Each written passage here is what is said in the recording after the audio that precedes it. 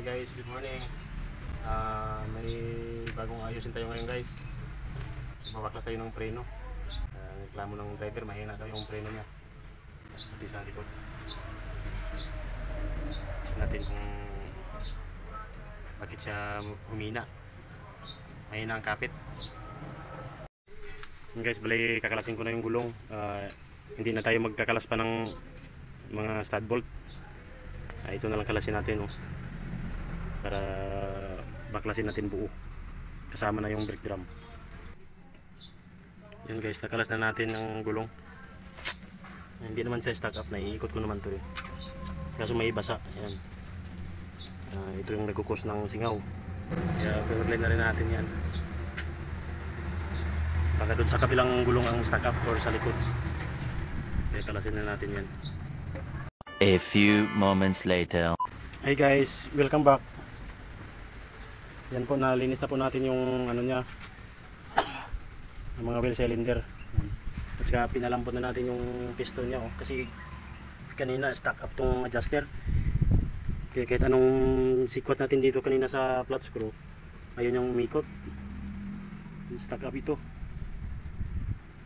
Yan. Ngayon pwede na, naiikot na ang gagawin na natin nito ngayon ah, ibabalik natin uh, simbolin yan tsaka yung itong brake shoe pwede pa naman magagamit pa naman to eh. Huwag na natin palitan to kasi pwede pa. Palpak. ayan o ilang buwan pa to. Ano lang talaga stack up lang yung adjuster. Kaya mahina yung preno kasi mataas na yung clearance ng brake shoe at brake drum.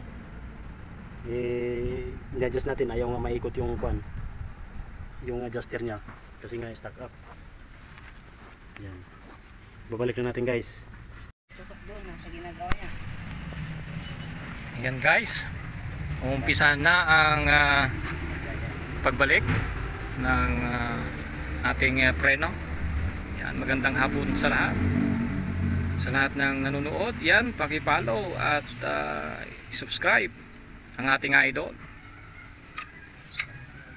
Ayan ha, malinis na malinis mga kaigan. Ayan. Ayan po kung paano po ibalik ang ating preno para ligtas sa ating biyahe. Yan, magandang magandang magandang magandang hapon po sa ating lahat. This is ang ating ah, ah, magiting na mekaniko.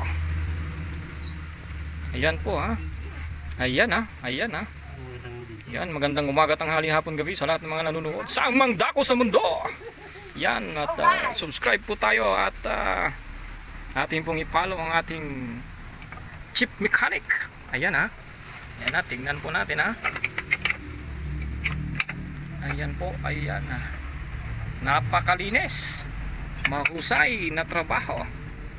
Ayan guys, ayan ha.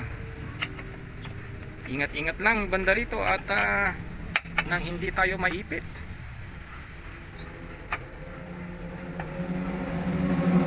Ayan. Kita nyo naman, napakaganda at napakalinis ng trabaho. Kung kayo po yung magpagawa, kontakin nyo lang po ang ating chip mechanic. At kung paano magpaturo. Yan guys ha. Talagang nililinis lahat ng ah, bawat piraso. Ayan. Huwag pong hayaan na hindi po mag-subscribe. I-likes po ninyo. Ayan. Sinusuot na po doon sa likod ang kanyang lock. Yung spring. Ayan. Ganyan lang po mga ikan. napakahusay At magandang buhay. Ayan po. May kabit na po yung isa. Sa baba naman po, sinusuot ulit sa likod. Yung kanyang ah, lock.